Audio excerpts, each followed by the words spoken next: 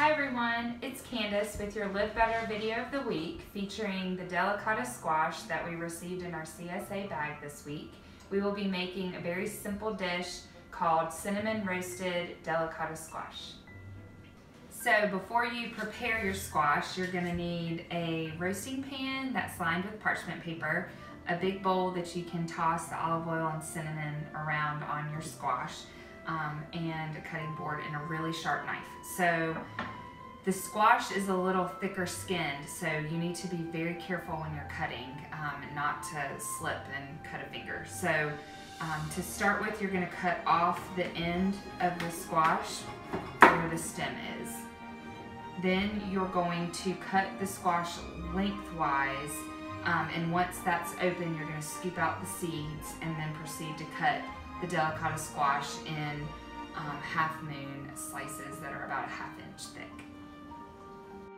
Once you have all of your squash cut into half moons, then you're going to take a tablespoon to a tablespoon and a half of olive oil and um, drizzle that all over it. And then you're gonna do salt and pepper. And a teaspoon of cinnamon. sprinkle that around and then you want to just take your hands and mix it mix it all around in the bowl to evenly coat it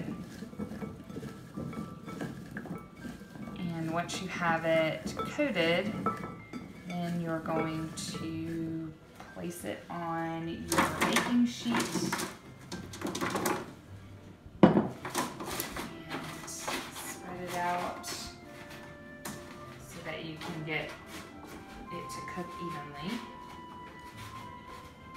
You're gonna pop this in your oven that's heated at 350 for 20 minutes. And then after 20 minutes, you're gonna stir it around one more time and cook it for another 15 minutes until it's lightly brown and golden.